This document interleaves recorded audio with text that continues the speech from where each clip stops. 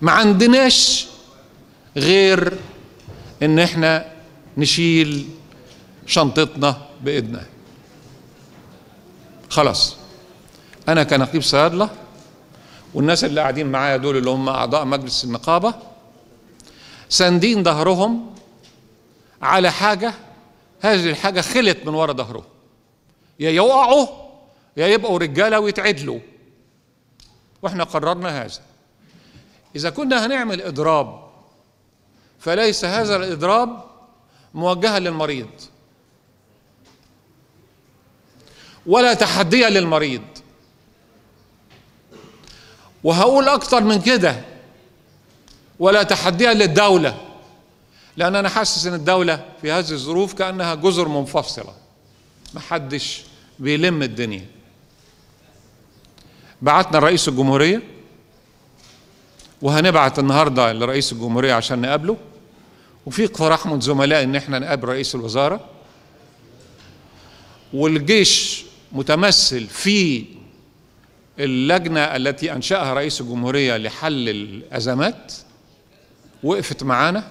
ومع هذا ما زالت مصر يعني أنهى الله هذه المشكلة. ما زالت جزر منفصلة. إحنا أنتوا عارفين إن إحنا قررنا إن إحنا نعمل إضراب؟ هنعمل اعتصام داخل مقر النقابة؟ وهنعمل إضراب على مدى فترات حددناها؟ لعل وعسى لعل وعسى إنه الدولة رئيس إنه إنه وزيرة الصحة تخرج من شعورها بإن الصيادله مش مهمين. وتحل الموضوع. إذا ما حلتوش هنحاول نحله مع رئيس الجمهورية ورئيس الوزراء. المجلس خد عمل اجتماع وخد قرار باعتصام في حديقة النقابة. هنطلع من هنا على الاعتصام جوه الحديقة. عشان إحنا ناس متربيين هندخل جوه الحديقة وهنقعد جوه الحديقة. زي ما أنا أعتصم جوه المكتب عندي. وإحنا بنطلب من الصيادله إنه ما يكونش اعتصام المجلس بس المجلس كله يعتصم. بنطلب من الصيادله إنهم يجوا يشاركونا. وأنا بطلب من الصيادله مين؟ الصيادله الحكوميين مش محتاجين إن أنا أطلب منهم لأنها قضية واضحة. أنا عاوز الصيدلي صاحب الصيدلية يعرف إن كثير جدا من مشاكله. تتحل زي هامش الربح الذي ليس فيه عدوانا على المريض. ولا بنتكلم على زيادة هامش الربح أيها الزملاء الصحفيين والإعلاميين بنتكلم على زيادة هامش الربح تأتي من شركات الصناعة مش تأتي من جيب المريض. زي قصة المرتجعات اللي أنا مش عاوز أشغلكم بيها. لكنها قضية بالغة الخطورة بتؤثر على المجتمع. السيدة الوزيرة بتعتبر أن موضوع المرتجعات موضوع تجاري. يعني إيه مرتجعات؟ يعني يعني أدوية تاريخها فات في الصيدلية. أنتوا عارفين السنة اللي فاتت كان في في الم... في الصيدليات أدوية عسير جدا إن إحنا نرجعها لل... لل... لل... للشركات؟ 380 مليون جنيه. وأنا أعتقد إن السنة دي أكتر. مشكلة المرتجعات مشكلة الضرائب مشكلة هامش الربح كثير جدا من المشاكل اللي تتعلق بالصيادله اصحاب الصيدليات. الاسم العلمي اللي هيحل مشكلات كثيرة جدا. في هذا الموضوع. أنا مستعد إن أنا أتكلم في الاسم العلمي مع الزملاء الصحفيين على مستوى آه كل الحاجات دي مهم جدا إن الصيادله أصحاب الصيدليات يشاركونا. مهم جدا. وعلى فكرة إحنا كنا عملنا إضراب سنة 2009 عملوه أصحاب الصيدليات وكتب في تقرير التنمية البشرية إنه أحسن ما اتعمل في مصر في تاريخها من 30 40 سنة هو إضراب الصيادلة. أنا كلمني أحد الوزراء يومها يوم الإضراب الأولاني قال لي قبل المغرب كان في 70% من الصيدليات التزمت بال... تاني يوم كان في 90% من الصيدليات وكنا منظمينها عشان المريض ما يتحرمش. إحنا على فكرة مش بنهبل مش عاوزين مريض مش لاقي انسولين ما يلاقيهوش. إنما عاوزين نقول للمرضى ونقول للناس في الشارع ونقول للإعلام ونقول للمفكرين ونقول للنخبة. ان إحنا فئة ظلمت ولذلك سنحارب من أجل إنشاء الهيئة العامة للدواء. هنحارب. هذا الموضوع انتهى كتابته. وانتهى انتهت الصياغة. وجددنا الصياغة لما ما يعني فات وقته والحكومة ما اهتمتش. جددنا الصياغة.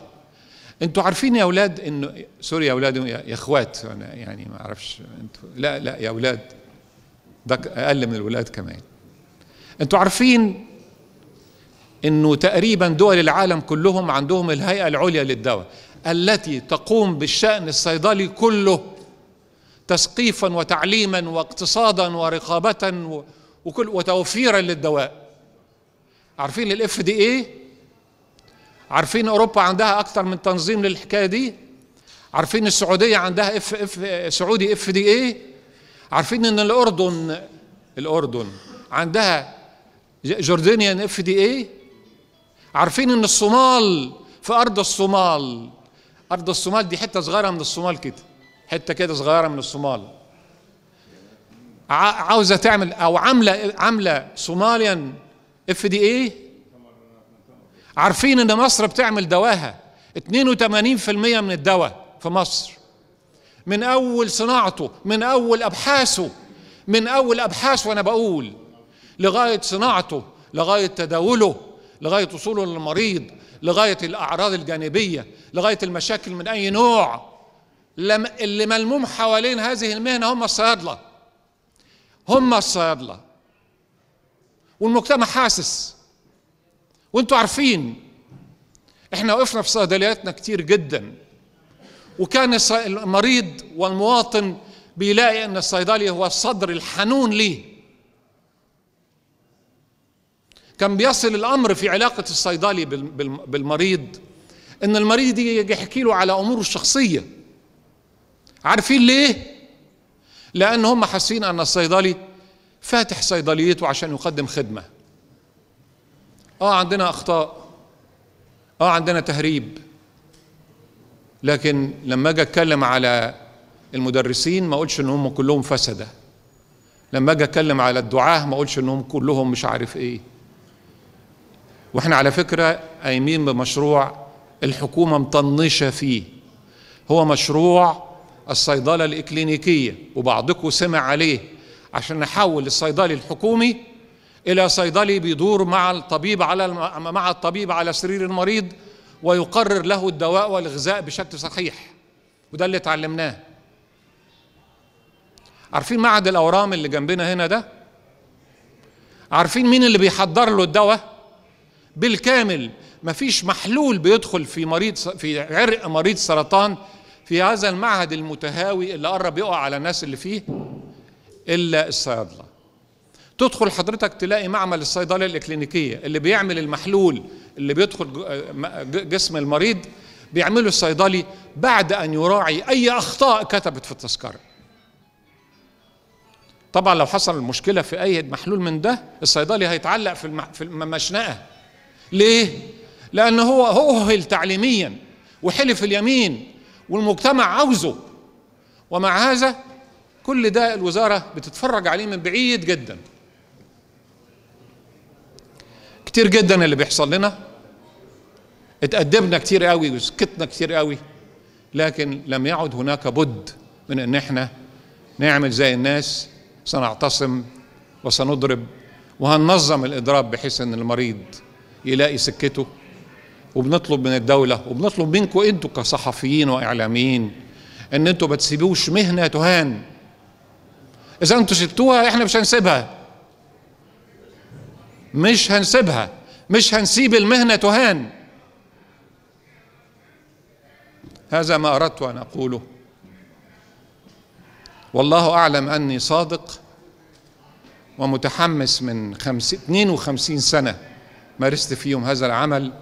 و24 سنة مارست فيهم العمل داخل نقابة الصيادله لست فئويا ولكني أحترم لقمة عيشي وأحترم علمي وأحترم الاحتياج المريض إلي وأقدم أقصى ما يمكن أن أقدمه. شكرا والسلام عليكم ورحمة الله. يا جماعة لو في أسئلة؟ معلش أنا نسيت حاجة. نسيت اكمل ال ال قرارات المجلس في اضراب جزئي للصيادله الحكوميين. يوم الأربعاء من كل أسبوع في فبراير يعني 12 فبراير و19 فبراير و26 فبراير. وفي اضراب لل- للصيادله الصيدليات الأهلية يوم 26 فبراير.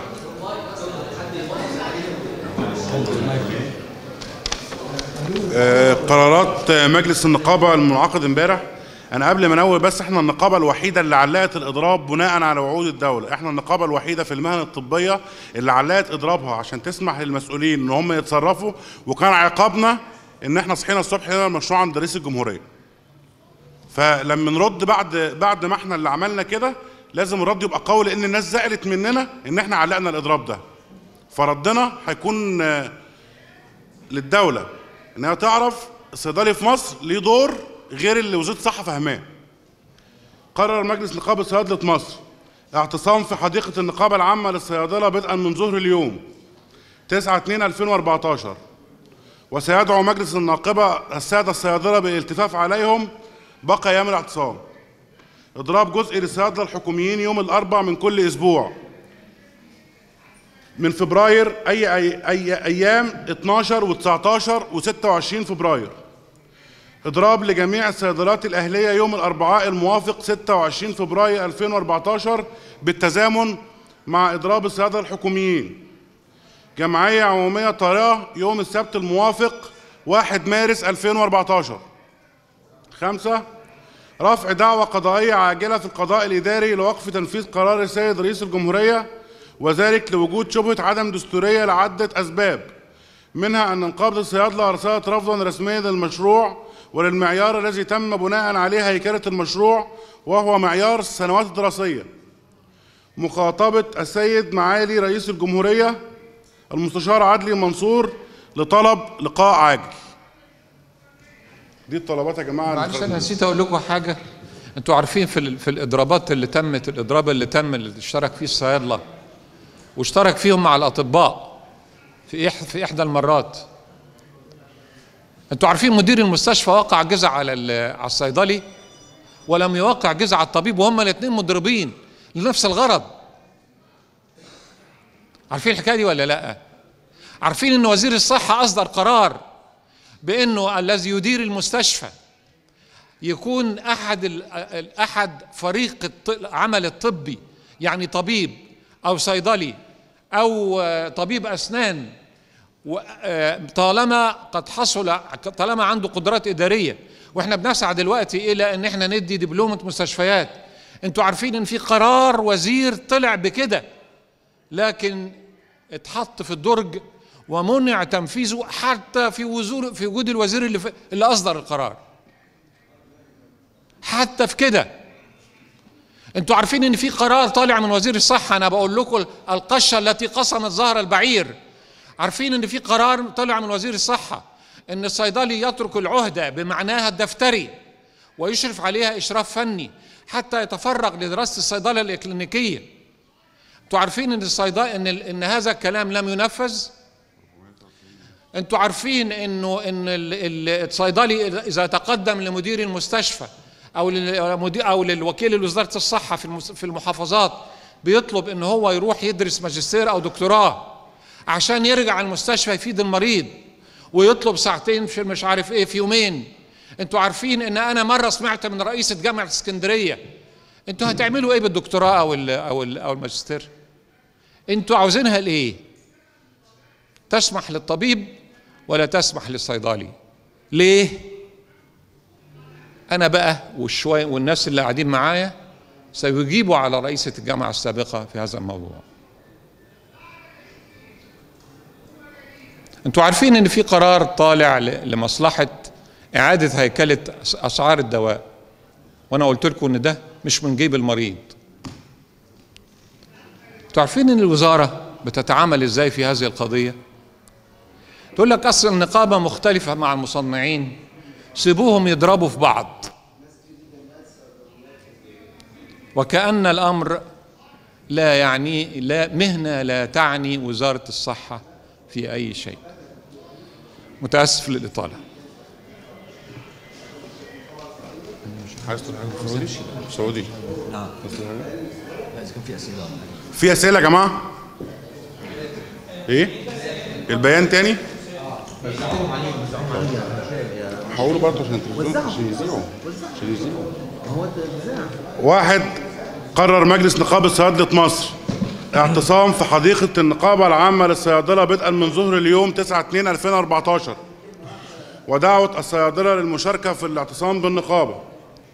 إضراب جزئي للصيادلة الحكوميين يوم الأربع من كل أسبوع من فبراير. أيام 12 و19 و26 فبراير. إضراب لجميع الصيدليات الأهلية يوم الأربعاء الموافق 26 فبراير 2014 بالتزامن مع إضراب الصيادلة الحكوميين. جمعية عمومية طارئة يوم السبت الموافق 1 مارس 2014 رفع دعوى قضائية عاجلة في القضاء الإداري لوقف تنفيذ قرار السيد رئيس الجمهورية وذلك لوجود شبهة عدم دستورية لعدة أسباب منها أن نقابة الصيادلة أرسلت رفضا رسميا للمشروع وللمعيار الذي تم بناء عليه هيكلة المشروع وهو معيار السنوات الدراسية. مخاطبة معالي السيد المستشار رئيس الجمهورية لطلب لقاء عاجل. السلام عليكم. آه، هيتوزع عليكم خطاب عليه ختم وزارة الصحة وعليه مخاطبات وأسماء مديرين في وزارة الصحة. هذا الخطاب بيوضح كيف تدار المنظومة الصحية في مصر. كيف إيه؟ كيف يتعاملون مع الدواء. في السابق أيام الجائحة سال- في 2009 استوردت الدولة بملايين الجنيهات أو بالدولارات عقار المعالج المتخصص في هذا اللي هو تامي فلو. هذا العقار تم مد صلاحيته أكتر من مرة. وإحنا في كلية الصيدلة صراحة ما درسناش حكاية مد الصلاحية دي. إحنا عرفنا إن في حاجة اسمها في حاجة عندنا في الكلية اسمها ال stability studies وفي حاجة تانية اسمها ال accelerated stability studies في الآخر الدراسات دي بتقول الدواء ده يعيش سنة أو يعيش اتنين أو تلاتة maximum خمسة. تحت ظروف حفظ محددة. يعني اللي في التلاجة يبقى في التلاجة اللي في درجة حرارة الغرفة يبقى في درجة حرارة الغرفة. تامي فلو صدر ليه قرار إداري بيروقراطي غير سليم بمد. وبعدين بعد كده في واحد وزير كان عنده ظهر ضمير فقال لك لا نقصر شوية المدة نرجعه تاني. وفي الآخر صدر أمر للدكاتره بكتب وصفات طبية عشان يسووا العهدة واترمى في النيل. اترمى في النيل أو اترع بملايين الجنيهات. طيب ما تعلموش. تاني دواء التموينيل المصري اللي إحنا بنصنعه في مصانعنا المصرية هنا. الدواء ده تاريخه 2 2014 يعني 31 واحد المفروض يكون مقفول عليه. برضه إحنا اتعلمنا كده في الصيدلة. ما يبقاش واحد اتنين أو خمسة اتنين أو سبعة اتنين أو لآخر الشهر أو غيره يعني. هكذا تدار, تدار المنظومة الصيدلانية في وزارة الصحة بعشوائية وبتخبط. وزي ما بقول هي وزارة الأطباء اللي سمحت بتداول الفنكوش. وبعدين ثبت إن الفنكوش ده مش فنكوش. ده من عيلة الفياجرا. سحبوه. هكذا تدار هذه الوزارة. إقصاء. طب أنا عايز أقول لكم على معلومة تانية أهم. أقسم لكم بالله العظيم إن ما في حد في اتحاد المهن الطبية بدا من رئيس الاتحاد الدكتور خيري الذي حضر هذا التوقيع من غير تفويض من وزاره من نقابة الصيادلة تماما. لا يتحدث باسم الصيادلة إلا نقيبهم أو مجلس نقابتهم. لا غير. ما حدش عنده صورة هذا مشروع القانون ده اللي وقع ولا إحنا ولا اتحاد المهن ولا أي مخلوق في مصر عنده. عندنا مسودات قديمة اللي نشرها اليوم السابع أو أو غيره أو غيره. طب الدستور لسه إحنا قايلين عليه نعم من قيمة كام يوم؟ مش بيقول. بشكل واضح وصريح إن النقابات اللي بتمثل مئات الآلاف من خيرة شباب البلد وخيرة المتعبين في بلد لابد أن يؤخذ رأيها. ولا رجعنا تاني الموضوع لوي دراع طيب إذا كان هو هيبقى موضوع لوي دراع إحنا هنتكلم بنفس اللغة اللي هم هيقدروا يفهموها. لأن إحنا الفترة اللي فاتت دي كنا بنتكلم بلغه الظاهر هم ما يفهموهاش إحنا هنتكلم معاهم باللغة اللي يفهموها. بنأكد على القرارات اللي صدرت بنأكد على الاعتصام بنأكد على الاضراب اللي هو حق حق مش تفضل من أي حد يعني. وفي فعاليات أخرى يمكن من ضمنها يبقى في مسيرة. هنحدد لها ميعاد مسيرة ضخمة وهناخد لها وهناخد لها موافقة بإذن الله تعالى يعني. وأشكركم على تشريفكم. يعني هي رسالة موجهة يا سادة. دلوقتي وزارة الصحة اللي مدت تاريخ آه، عقار التامي فلو آه، ل 2007 وبعد من 2009 تاريخه كام؟ خمس سنين وبعدين سبع سنين وبعدين رجعته تاني. يعني بعبث شديد جدا. هي الوزارة التي سلمت صيدلانية صيدلانية تقدم خدمة للعدالة. علشان عندها أدوية منتهية الصلاحية ب 56 جنيه وهي تقضي عقوبة بالسجن. هو يعني أنا أنا رسالة للرئيس المستشار القانوني عدلي منصور. أرجوك صيدلانية مرمية في السجن عشان كان عندها أدوية منتهية الصلاحية ب 56 جنيه مرمية في السجن وقيادات أمدوا تاريخ صلاحية عقار يمس حياة مئات وآلاف المواطنين وهم موجودين بأماكنهم. بما أن حضرتك بتحكم بروح القانون وأن أن القانون ليس فقط عبارات هو تحكمه الروح والعدل من فضلك يعني نطلب العفو بيان بالعفو عن الصيدلانية منال فايز اللي ليها أو إيقاف العقوبة منال سعد عازر. منال سعد عازر يا جماعة موجودة في السجن. لا لأنها انحرفت لا لأنها زورت لا لأنها يعني خالفت ميثاق شرف المهنة بل هي وقفت تؤدي خدمة للمريض. دور تنويري آه، توعوي. يعني إحنا إحنا بنهان. يعني أقل واجب ردا على المأساة دي إن يتم إطلاق سراح أو وقف عقوبتها. وشكرا. أنتوا عارفين مستحضر التامفلو اللي هو بتاع إيه؟ ها؟ انفلونزا الخنازير